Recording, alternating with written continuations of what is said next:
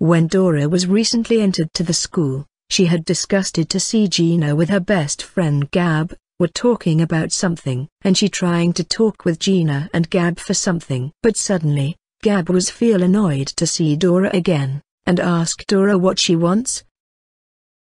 But suddenly Gina was unaccept for Dora's favor, and Dora is shocked from hearing Gina's words, for what she has did to Gina in two months ago.